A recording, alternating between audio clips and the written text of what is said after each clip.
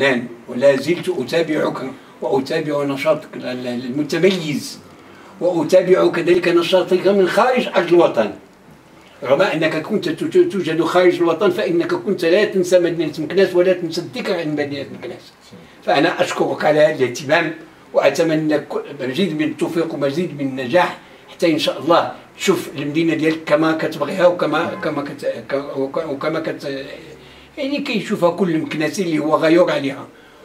وبكل صراحة كقيدوم كرجل اللي عنده دابا 51 عام في الصحافة الرياضية أقول مكناس مشات ضحية ويجب أن تنقذ والذي يمكن أن ينقذ مكناس هو رجالتها وهو أناسها.